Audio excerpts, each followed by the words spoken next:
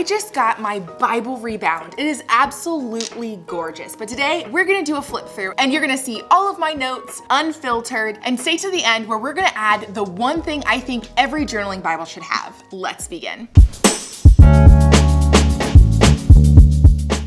Okay, no introduction needed. Let's go ahead and dive into my Bible. There's a few things that are missing from the very beginning of my Bible and the very ending of the Bible. It's kind of a hint on what we're gonna do at the end of this video. But let's go ahead and start a flip through. I always get a little bit nervous showing you guys my Bible because it's so intimate and there's like my notes in there, you know? But I share everything on the internet already, so, you know, why not share my Bible notes? All right, so we have the beautiful cover. Thank you again to Crew & Co. They just did an amazing job with the logo, the leather. It's already like getting broken in and I absolutely love that, how it will patina. That just means like age so beautifully and get a little bit darker. I'm very excited. But as y'all know, I had a lot of notes here at the beginning of my Bible, which by the way, Crew & Co. added all these extra pages. So incredible. So I need to slowly add back in a lot of these notes. There was like a whole page right here. And they sent me back my old cover, which is just so kind and considerate. And it has all those things. So I might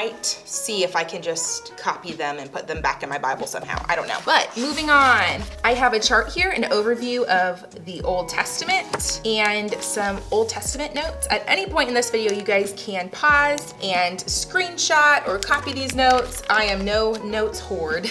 I would like seriously pay money to see some of my favorite, I don't know, Bible study or people's Bible notes. So I get it. In the past, people have said, I screenshotted it and put those notes in my Bible and I'm just so honored by that. So, and flattered, really. Look at this though. I have some notes from different books that I've read recently this year. Lots of small little flaps here.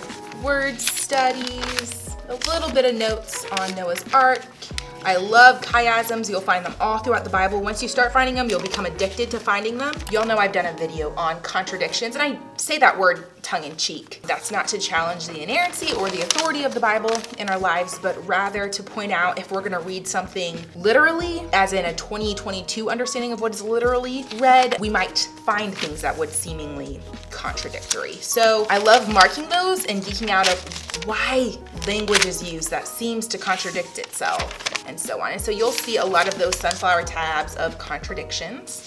This is one of those notes that I took while this Bible was mailed off and I added it in like day one after I unwrapped it from the box. Off camera, I added in a lot of my notes and I still have so many more notes to add in from the books that I've been reading and things like that. But you know, it just takes time and a free hour or two to go through those books and all my notes. Y'all know I like to take notes when I'm reading through Christian living or theology books. And yet I've found that it's probably best for me to kind of sit on those notes and not immediately write them down in my Bible. And then I get to come back to them, relearn them and re-record them. Look at this cute little chart. I actually used a ruler this day. Go Faith, also, I've found that I always am appreciative whenever I take really tiny notes. Like I never regret taking super tiny notes. So that's a mental note.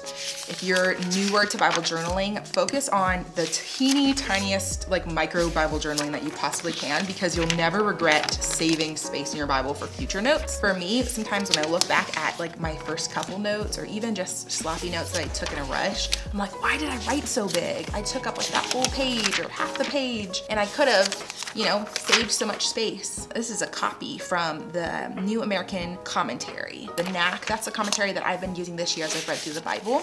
Teeny tiny notes, I have no idea what those are from. I love like the how this looks like an, I don't know, ancient document. I love whenever I do that and I make it look like aged paper with that brown colored pencil. It's like so simple, but every time I look at those kinds of notes, I'm so grateful I did it that way. It's just pretty. Here is something that I did on camera here in one of my recent videos. I cannot remember for the life of me what that was. I think it was Bible Study Roulette.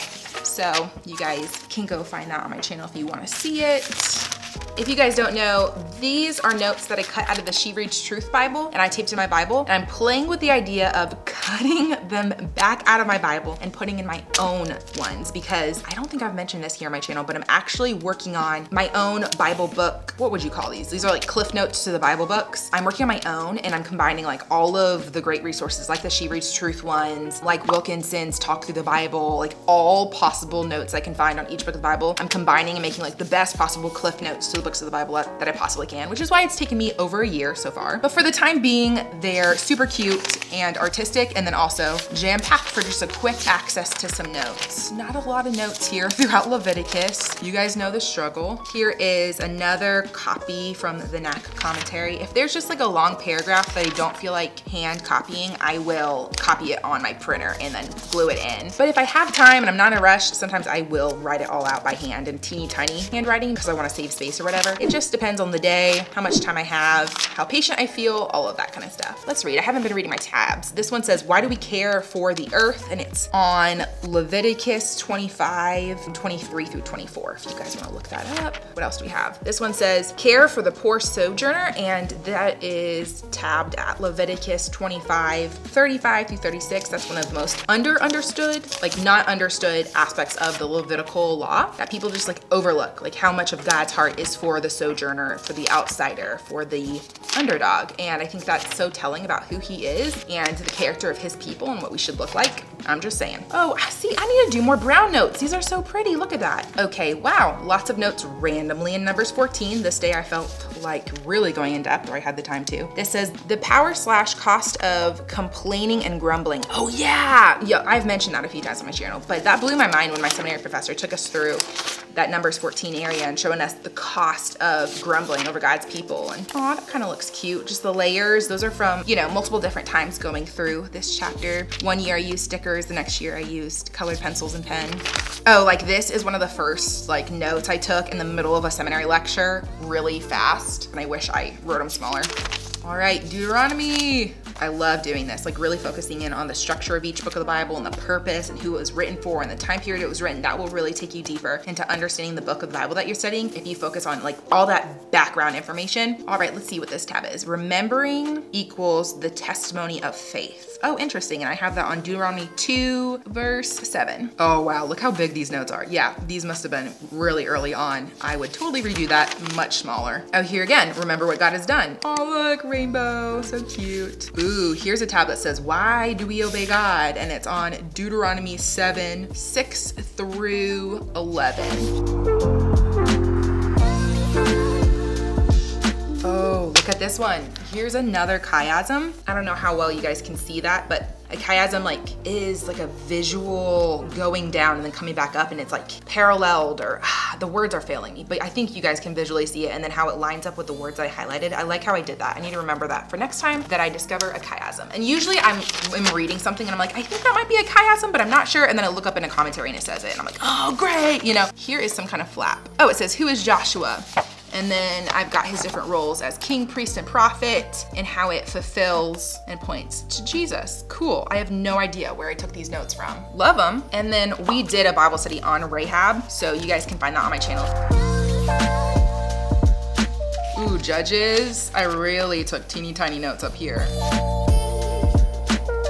I loved the visual that one of my seminary professors gave me of like the mountain hill thing that they were on in the Deborah battle. Is that what you would call it in Judges 4? Whatever, it doesn't matter. It just is important to kind of have the picture of how when the rains came, being up there is a deliverance, not being trapped. Because if you were in a normal battle, you'd be trapped up there. Anyway, don't know if that makes sense, but. Terrible bleed through. If I was taking notes on this page, I would probably put like white sticker paper or just white printer paper over this and then write. I'm pretty sure that this was a Crayola, just marker. And then lots of cute little flaps on Ruth. Your girl loves Ruth finds it very beautiful. If you guys have not watched the Bible Project's video on Ruth, go and watch it. In some pages, I don't have anything but a few sentences highlighted or underlined. That's totally fine too.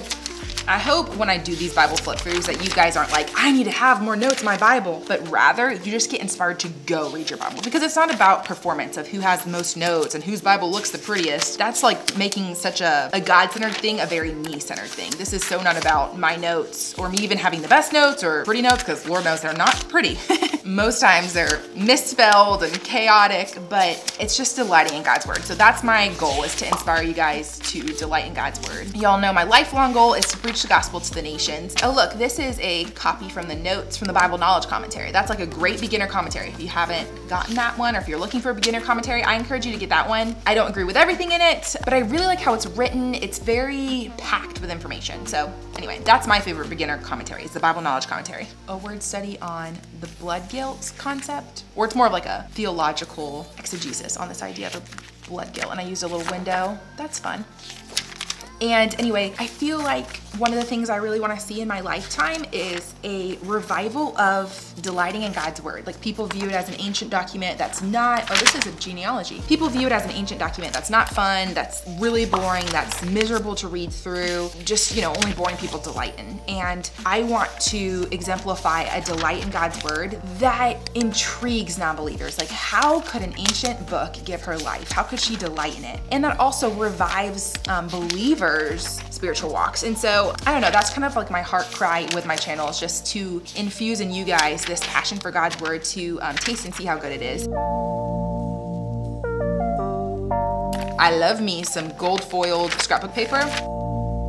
Aw, this is no color. Faith, what were you thinking? in all honesty, I was probably most definitely taking notes for seminary class and was in way too much of a rush to color it in. Y'all guys can tell I love the faux tape method and I like making it look scrappy even though it's not really a bunch of little sticky notes and scrapbook paper. I like making it look that way.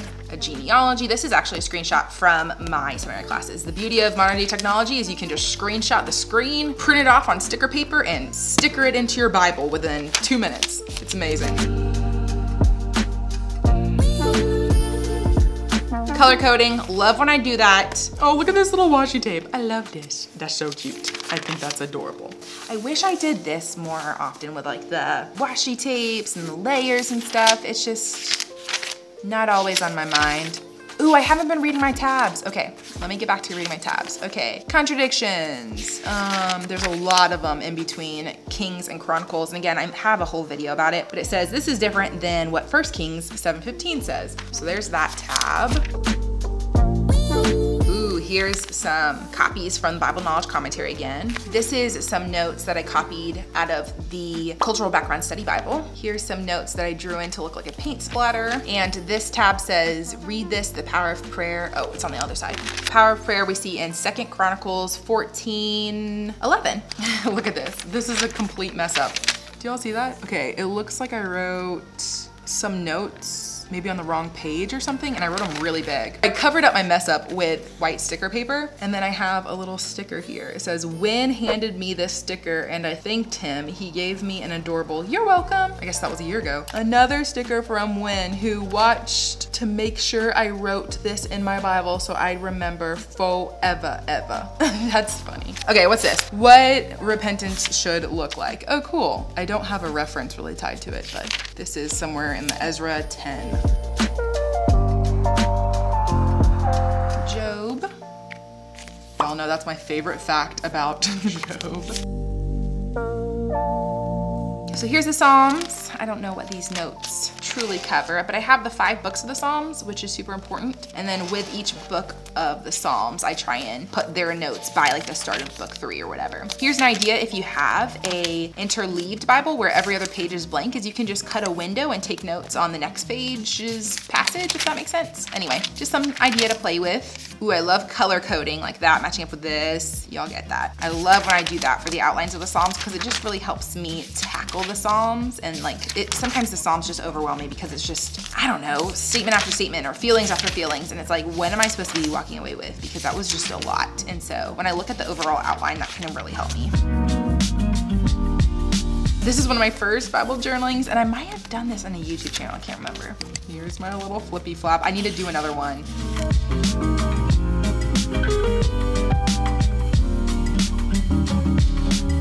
Ooh, I loved that I did that recently and how it turned out, so I definitely wanna do that some more. So I was taking a ton of notes and ran out of space, so I just went ahead and added a page for each one of these Psalms. Can you see that? So I don't even have notes on Psalm 122 on this page yet, but I just went ahead and put it in so that I could have a page for Psalm 125, Psalm 124, what is this? Psalm 123, 122, and 121. Anyway, I just was already running out of room because I did this on this page. So if you have done a lot of Bible art in your Bible and now you're like, great, I don't have room for actual notes, you can always just add in more paper. Oh, I love that. To me, that looks so cute. Okay, anyway. This is painting with coffee in my Bible. That's a video that we did here on YouTube. Then um, this is some washi tape that I printed myself with this really cool device, the Printmaker. You guys can search that on my channel. I have a video on that. Into Song of Solomon. Pause this and read this. Super fun, super interesting. Anyway, what is this? The gospel is for all. It's not exclusive. And I have that on Isaiah 56, 7, end of 7. That's really pretty. I love how She Reads Truth has pretty notes like that, but I don't love that they get wrinkled sometimes because they're so much lighter than my actual Bible pages, so lesson learned on that. But one of my Patreons mentioned in our app that she can actually iron them out with her iron, and so I need to try that. Ooh, look at this. Charts that I added in, fun. Oop. I didn't finish those notes. That's real life mom with toddlers, unfinished notes. That's okay. Next year, go back through, add some more, and it is okay. Let's see, what is this one?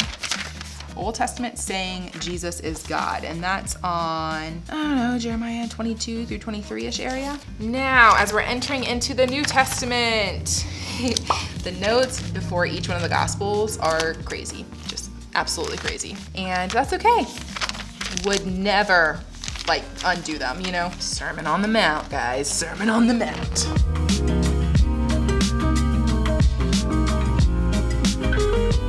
Beautiful layering, need to do that more. Although it does take up a lot of space, so I don't know. Yes, yes, love that. I, I think I traced it. Okay, Mark got notes as well. Luke,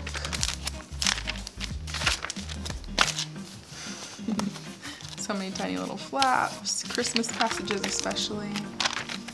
More flaps. Ooh, the frontispiece of Luke. I love that thing. Again, the gold foil. I think one of the best things about having all these notes in my Bible is, you know, I'm always picking up from where I left off learning, you know? Yeah, that is priceless. It's not like I can really super forget whatever's written in my Bible because it's there forever, you know? So I really don't think that you can mess up taking notes in your Bible in that aspect. Like you're just remembering it, essentially.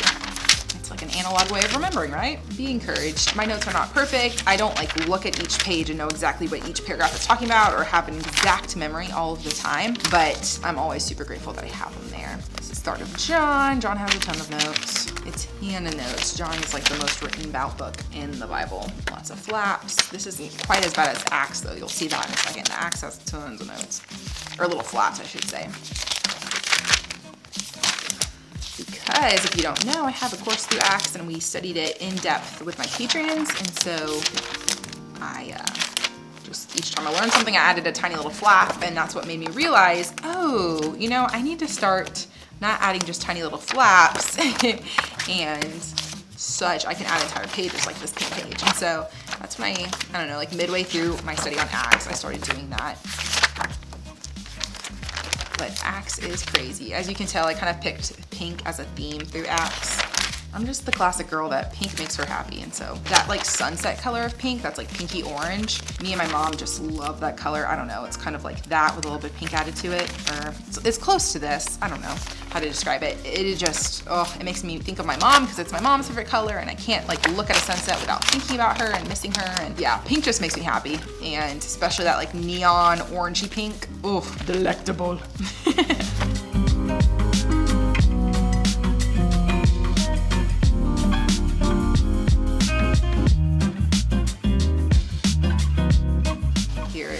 I've showed this a few times, but there's lots of notes here.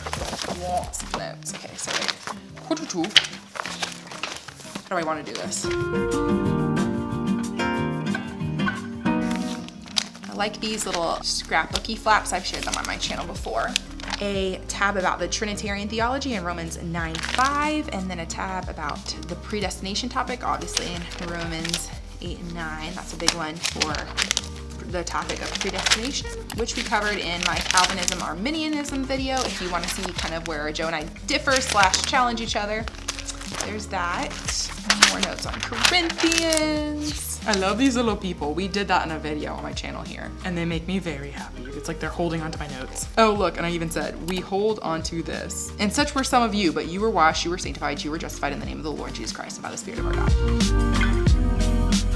This is an article that I'm not sure what I think about it, but it transformed my understanding of this one chapter of the Bible. So I copied it and I put it in my Bible, and it's just from a book. Oh, these are from my Galatians course.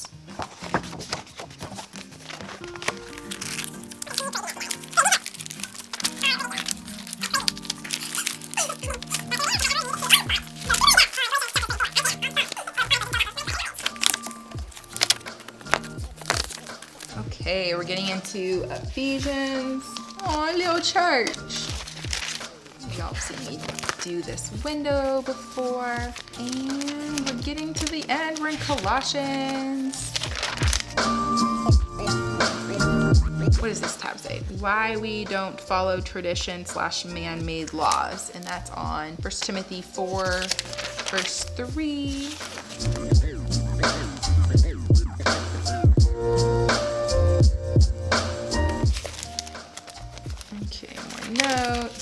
Still haven't fixed this mess up, guys. You guys are all gonna shake your heads because that mess up was there on my last Bible journaling flip through and I asked for your advice on what I should do with it and I still haven't fixed it. This is me covering up. Jude and Revelation. Not a whole lot of notes on Revelation, except for the ending part. Okay, and then here we are at the end of my Bible. And I was so blessed by Crew & Co. to be given all these extra pages. Now, if you guys are semi-newish here, I haven't talked about it in a while, but I am a strong believer that every single journaling Bible that they mass produce should have an envelope.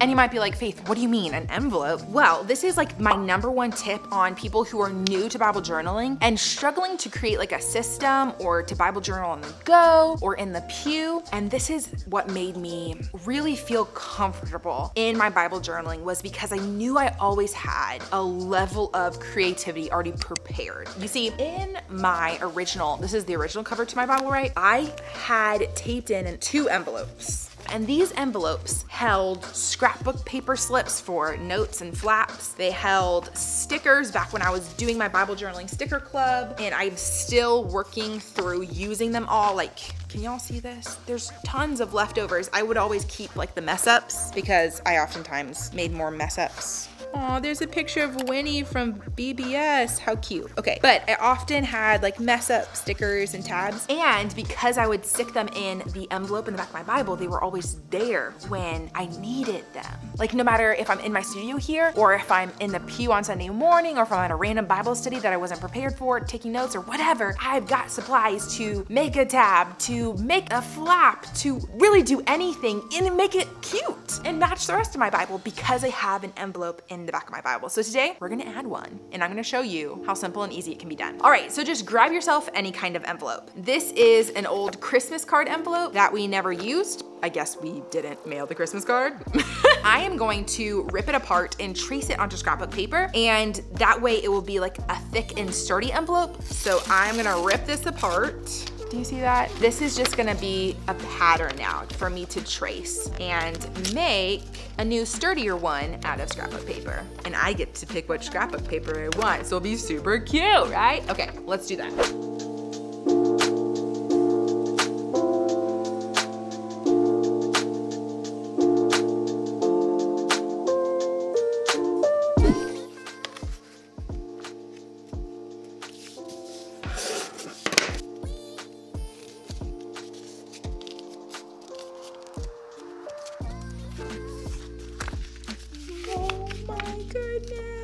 Look how cute this is. Love that. Okay, I'm gonna glue it and stick it in my Bible.